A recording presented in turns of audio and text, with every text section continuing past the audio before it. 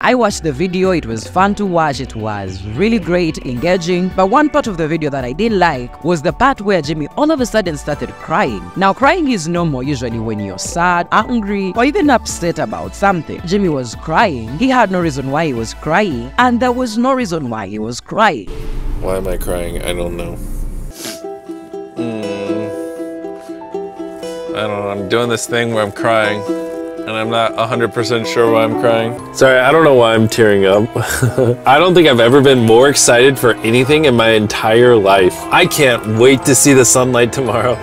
I'll see you guys in the morning. This is gonna be awesome. But the most interesting thing about the video is the fact that he continued throughout the challenge and finished it. Now the first days were the most easy, but when it got to day 5, day 6, that's when we kinda started seeing the downside of Jimmy like crying without a reason, being so overwhelmed and tired. You can think about it. Now, I don't want to get buried six feet deep in the ground because I'm never going to think about that, but this actually changed my perspective of things.